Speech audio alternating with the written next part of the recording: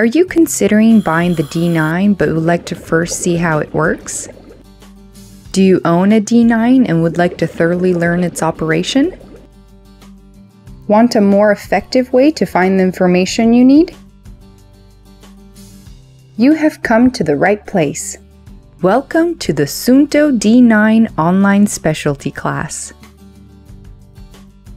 In this class, you will learn how to read the D9, how to program it, and how to make your dives safer with it.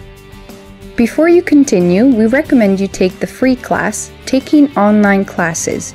You will learn how our classes are organized. Also, we recommend you take the Introduction to Dive Computers class so you will better understand how dive computers operate. If you have already taken both classes, then you are well prepared. Let's get started. First, we will give you an overview of the D9.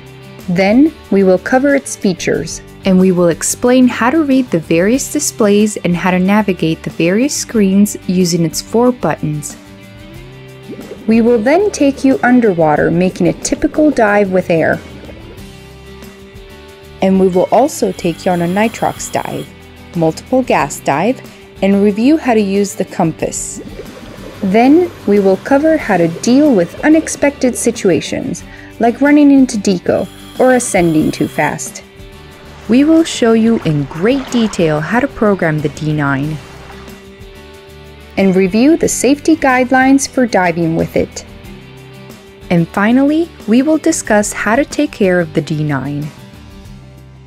Some of the chapters will have quizzes, but don't worry. If you get some of the answers wrong, we will tell you so and you can always go back and review the material. So you will be well prepared and ready for the final test. Once you complete the class, you will be ready to virtually dive with the D9. Also, you will get a nice D9 virtual specialty card to show on your eDiving profile. Now, let's get started. Press Next at the bottom of the screen